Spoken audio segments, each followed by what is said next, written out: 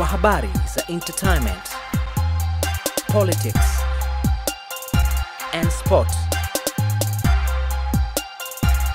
Usiache kusubscribe channel yetu BM Online TV. Okay, hii hapa ni Code Night Party. Kama unavyojua kwamba uh, ni event ambayo imehudhuriwa na watu wazito kutokea Mwanza. Tuko na dada yetu hapa anaitwa Jane Wine. Mambo Poa, naje? safi mzima? Mzima za wewe? Ah, fresh kabisa. Tuambie, nimekuona kwenye ma event mengi sana. Tuambie utofauti wa hii event na event nyingine ambazo umehudhuria. Ah, tofauti ya hii event na event zingine zinazohudhuria, naona kama wewe unaona wenyewe watu wamejaa, watu wameisikia wito, watu wamekuja wamekuja kushuhudia. Yes. Uh, mara nyingi nimekuona ukisimama kwenye majukwaa kwenye event tofauti tofauti na ukizungumza apart kuzungumza, umekuwa na surprise nyingi ambazo unawapatia watu ambao wanaandaa hizo show. Uh, kwenye hii uh, kwenye show ambayo launching ya Koyo pamoja na Nchama, kuna support yoyote ambayo umewaandalia au kuna surprise yoyote ambayo umewaandalia? Mimi tu mwenyewe kuwa hapa tayari ni surprise kwa sababu hata wao hawajui kama niko hapa. Kwa hivyo wewe ndio kuniona haraka. Kwa hiyo mimi tu kuwa hapa tayari ni, ni kuandalia kila kitu. Yaani mimi tu kuonekana hapa tayari ni, ni kila kitu eh. Uh, nadhani umeshahudhuria event nyingi. Unawaambia nini wasanii ambao maybe wanatamani kufanya event kama hizi, lakini pia wanakuwa wanakuwa na hofu ya kufanya event? Wewe unawashauri nini?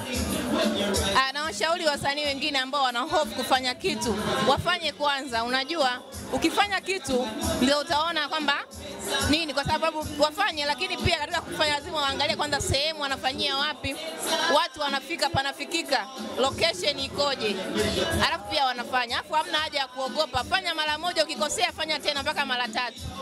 Umeelewa? Kwa hiyo wasiwe waoga, wafanye tu. Uh, kitu chochote kwa watu ambao wanakutazama pia wanaonitazama mimi ni mmoja wa watu ambao natamani sana kuona watu wanafika mbali. Mimi ni dada ambaye ni dada kila mtu mpaka dada yenu. Kwa hivyo basi mimi niwaambie tu hasa kabisa, mimi naongeaga na vijana, huu ni wakati wa kufanya kile kitu ambacho unaona kwamba uko tayari kukifanya. Tufanye mambo ambayo ni mazuri, vijana wafanye kazi hivi. Kama hii pia ni mojawapo ya, ya ajira, unajua eh? Kwa hivyo vijana wafanye kazi nyingi za ajira, ni nyingi sana. Ukiona una ajira, jaribu kuangalia, je, Mungu amekupa kipaji gani? Kwa hivyo ukiona kipaji chako tayari ni ajira yako.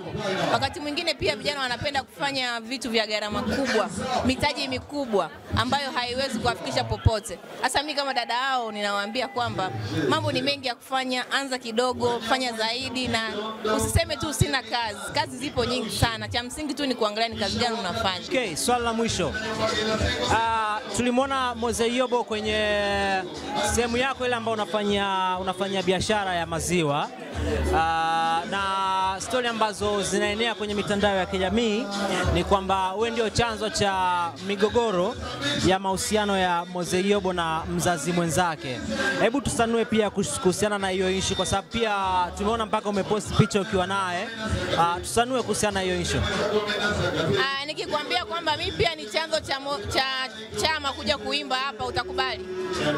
Yeah, labda kuna vitu vingine ambavyo viko backstage ambavyo in public. Kama na wewe pia ni mpenzi wangu utakubali? Huwezi jua.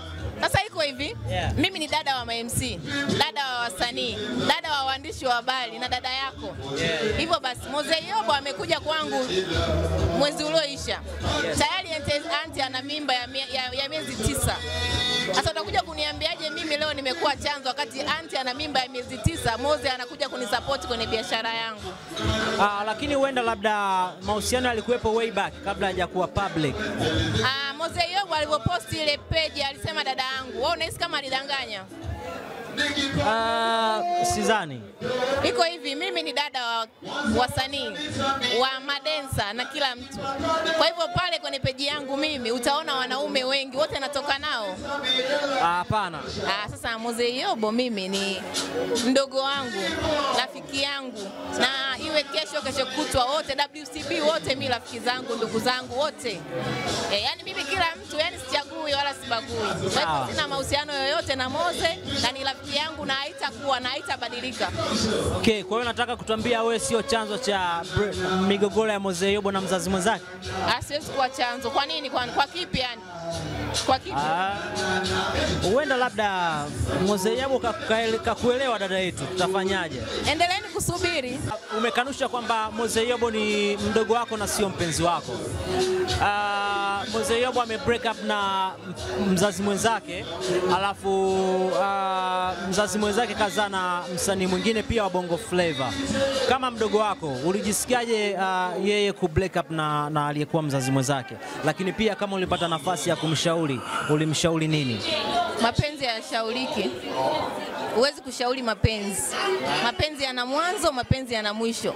Sio mpaka mtu asubirie gunia la mkaa ungue, mwanze kuona amezikwa, amewekewa mti wa mgomba ndio mwanze kuongea. Wenyewe wanajuana walikotoana, wanajuana walikoishia.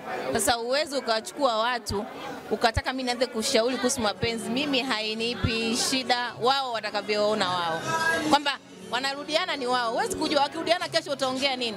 Usije ukaongea vitu ambavyo huwezi kuvijua. Mimi siwezi kuongelea mapenzi ya watu. Sawa. Eh, mimi naongelea yanayonihusu mimi. Okay. Moze Yobo ni mdogo wangu. Auntie Ezekieli ni wifi yangu, wakirudiana sawa, kwa sababu wale watu ni watu ambao wamezaa, hawezi kutupiana maneno, hawawezi kuongea chochote. Wakirudiana kesho utaongea nini? Right. Yeah. Shukran sana dada yetu kwa time yako. Okay, hii hapa ni BM Online TV na tuko maeneo ya Nisha Pub.